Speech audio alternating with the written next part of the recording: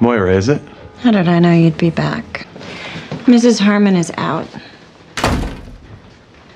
But I'd be happy to show you whatever you want to see.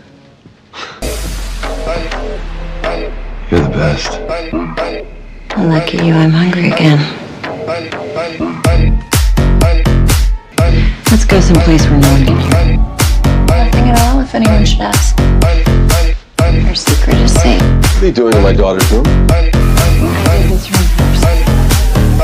When I'm not tending to your needs, of course. Buttoning and bending over. I'm quite shaken.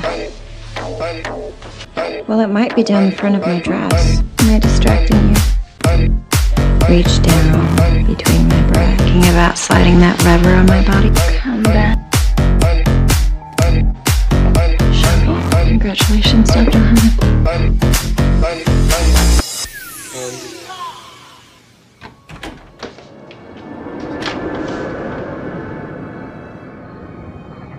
You're finally beginning to see things as they are.